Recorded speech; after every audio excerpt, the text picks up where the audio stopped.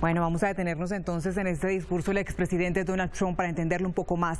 Está con nosotros Oscar Palma, profesor de Relaciones Internacionales de la Universidad del Rosario. Profesor, bienvenido. Hola Daniela, buenos días.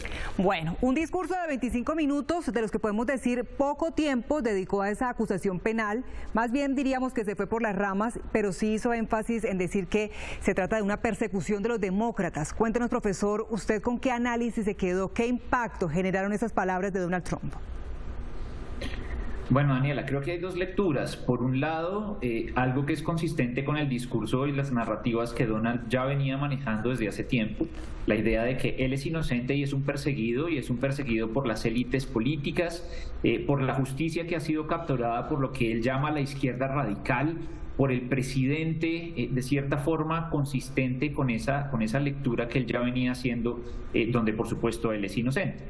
Y por otro lado, de cierta forma, como una especie de lanzamiento de campaña, un, un, discurso que va, de cierta forma, a la realidad que está viviendo Estados Unidos en este momento, a los problemas, a la economía, a las dificultades, a lo internacional y de cómo él se vende, él cómo se presenta como el salvador, como la persona que necesita de nuevo llegar a la presidencia para salvar a Estados Unidos de un montón de problemas que han creado los demócratas. Ha dado, profesor, en esa sensación clave o general ese lanzamiento de campaña, quizás. Bueno, pero además arremetió contra la justicia y vamos a recordar un poco lo que pasó. Al juez colombiano que le leyó los cargos en su contra dijo que él junto a su familia odia a Trump. Siguió refiriéndose a los fiscales que adelantan otras investigaciones en su contra. Por ejemplo, a uno lo calificó de racista, a otro lo trató de lunático de izquierda radical. Entonces uno pregunta, ¿cómo queda Trump con esos ataques y qué eco tienen esos señalamientos en la justicia? Bueno, la justicia en realidad está haciendo, está haciendo su trabajo como, como una rama independiente del poder. Entonces, por un lado, uno podría pensar, y seguramente gran parte de la población en Estados Unidos lo dirá, que la justicia está haciendo un trabajo como una rama independiente del poder. Eh, no, no relacionado con la política, la política poder por un lado, pero de cierta forma la justicia está haciendo su trabajo como tal. Por otro lado, y muy seguramente en la base de, las personas que apoyan a Donald Trump, pues estará la idea de que la justicia ha sido capturada por esa izquierda radical y que no estamos más que en una persecución. Eh, pero no queda muy bien eh, Donald Trump con ese tipo de palabras, con ese sesgo de cierta forma racista. En algunos sectores del electorado, pues muy seguramente eh, caerán mal.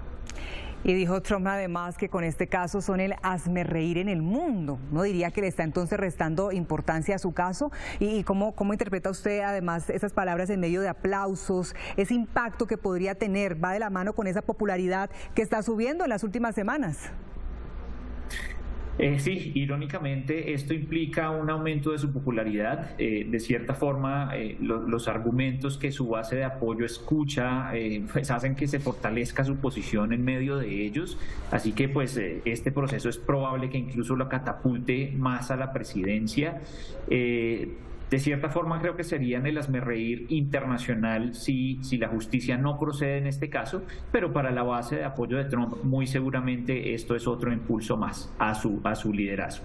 Bueno, ya lo veremos. Lo cierto es que lo que el magnate creyó que era un fin de semana de fiesta, hoy lo tiene enfrentando 34 cargos frente a la justicia. Muchas gracias, profesor Oscar Palma, por su tiempo aquí en Noticias Caracol. A ustedes, buen día, Daniela.